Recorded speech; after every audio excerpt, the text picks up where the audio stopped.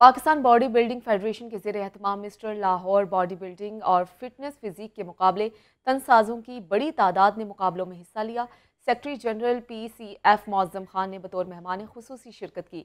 बिलाल अकील की रिपोर्ट देखें।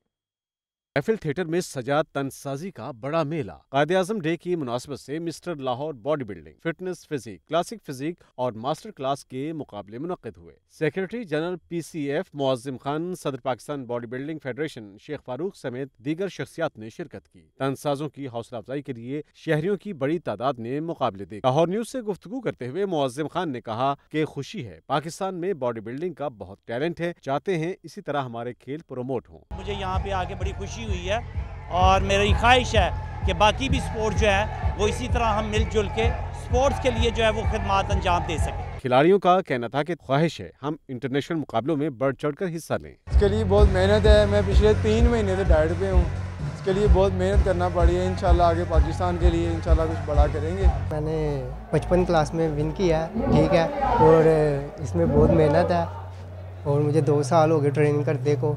ठीक है। और मैं पाकिस्तान का नाम रोशन करना चाहता हूँ। बॉडी बिल्डिंग में जो मेहनत है ना वो कह लें कि सेवेंटी परसेंट आपकी डाइट है।